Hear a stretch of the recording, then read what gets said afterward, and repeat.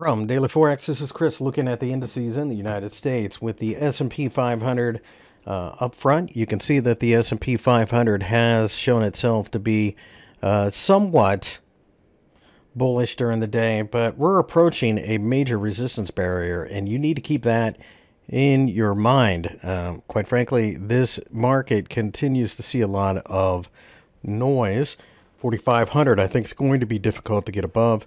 If we can, then um, at that point in time, I would anticipate that we have a scenario where we could very well uh, see a lot of um, selling pressure. If we can get above there, then we can go much higher. Uh, at this point, a little bit of a breakout in this consolidation. We'll see if it sticks. NASDAQ 100 has rallied quite nicely uh, during the session as well. Still below the 200 day EMA, though. So some questions remain. Now, if we can uh, break above there, then I think we could go to 15,500. But if we turn around and take out the bottom of this candlestick, look out below, we're going to 14,000. Anything below there gets kind of scary.